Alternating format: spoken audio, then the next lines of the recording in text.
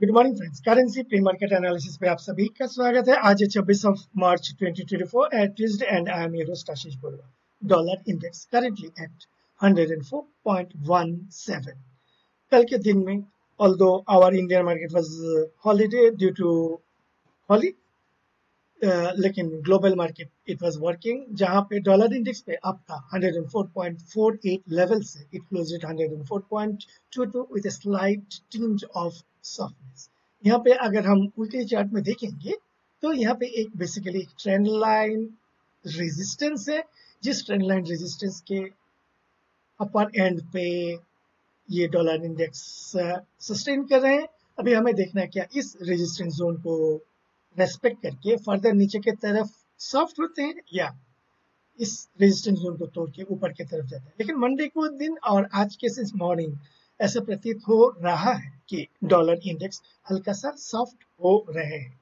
GBP dollar GBP dollar आपका Friday के दिन में अच्छा खासा एक नेगेटिव क्लोज दिया हुआ था, लेकिन मंडे के दिन में सपोर्ट लेके ऊपर की तरफ़ गया है from an intraday low of 1.2587 it traded high of 1.2653 and closed at 1.2636 currently it is trading at 1.2645 जैसे कि हमारा कल का मीन्स वीकेंड का एनालिसिस था, वहाँ पे हमें ये देखना था कि डेली चार्ट पे क्या जीबीपी डॉलर का जो डेली आरएसआई है, ये is it taking support at 40 and then moving higher और not if it is taking support at 40 and moving higher in such a case we can expect some sort of pull back in the currency pairs if it fails to take support at 40 and rather it is moving down further below 40 levels. In such a case, further selling is expected in GBP dollar.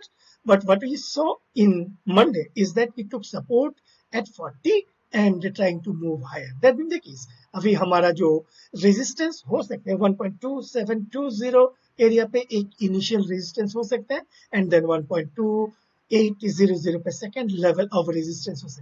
As far as the supports are concerned, 1.2580 so 1.2600 is expected to act as a support zone.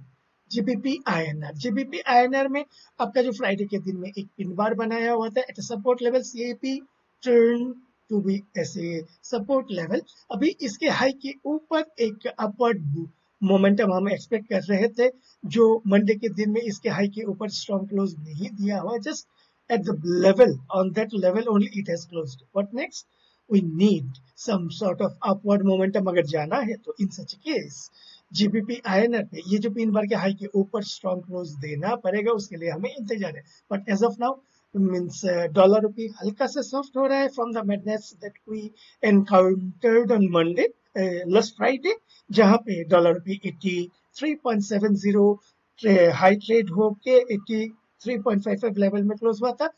लेकिन morning morning हल्का सा आज के दिन में थोड़ा सा softness देख रहे हैं टुवर्ड्स 83.40 जिसके कारण ये despite GBP dollar is strong GBP INR is हल्का सा सॉफ्ट है comparison to GBP dollar now euro dollar same analysis जो हमारा वीकली एनालिसिस था। वहाँ पे हमने ये देखने का प्रयास कर रहे थे, क्या ये daily RSI taking support at 40 and moving higher in such a case something big is expected और वही हुआ है एंड ये जो इंपॉर्टेंट लेवल था, क्योंकि ये प्रीवियस प्रीवियस रेजिस्टेंस लेवल था जो now it is expected act as support and वही से सपोर्ट लेके पुल बैक कर रहा है। लेकिन यहाँ पर भी मीन्स ऊपर की तरफ़ जाने का जो मोमेंटम है, वो मोमेंटम मिसिंग है। So it's some sort of consolidation to slight upper side का मीन्स मूवमेंट यहाँ पे हम एक्सपेक्ट कर सकते यूरो आयनर यूरो आयनर में भी ये ट्रेंड लाइन सपोर्ट में सपोर्ट लेके ऊपर की तरफ़ जाने का प्रयास कर रहा है but due to rupee factor dollar factor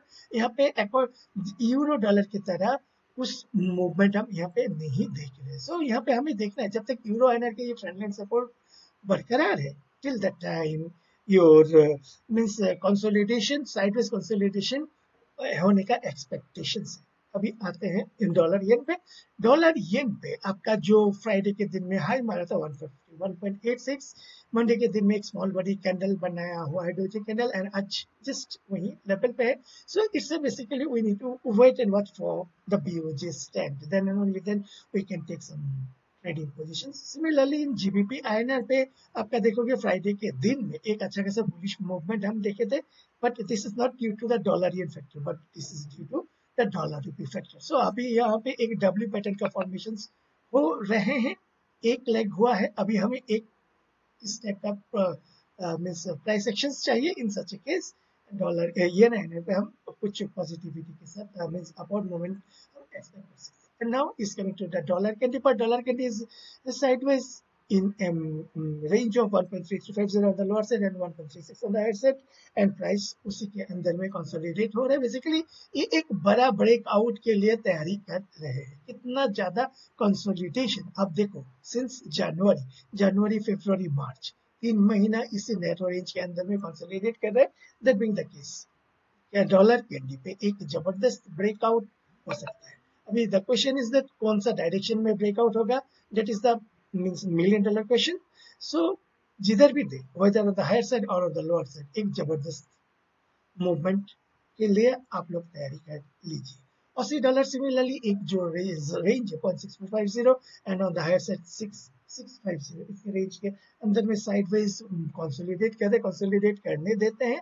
Before it means it is either side breaking out, possibly on the higher side CNH 7.24 ये फ्राइडे के दिन में बहुत ज़बरदस्त वीक हुआ था towards 7.227 and currently it is 7.24 so यहाँ पे पीबीओसी का स्टैंड हमें देखना है क्या कर रहे हैं। Then is coming your Brent crude future Brent crude future currently 86.75 थोड़ा सा प्रेशर से यहाँ ऑन क्रूड ऑयल यहाँ पे प्राइस में दिख रहा है। प्राइस का ये पहले का रेजिस्टेंस जोन था, यहाँ पे एक्सपेक्टेड टू एक्ट सपोर्ट हमें ये देखना था वीकली एनालिसिस में जो हमने डिस्कस किए थे, कि क्या ये सपोर्ट लेके ऊपर की तरफ़ जाता है। एंड वैसे प्रतीत हो रहा है कि ये सपोर्ट लेके ऊपर की तरफ़ जाने का प्रयास कर रहा है। अभी ये आपका उन्नीस एंड बीस मार्च का जो हाई है नाइनटीन एंड ट्वेंटी मार्च का हाई है that is the important resistance इसके हाई के ऊपर एक अपवर्ड मोमेंटम यहाँ पे हम एक्सपेक्ट कर सकते हैं। Next is coming your US ten treasury थोड़ा सा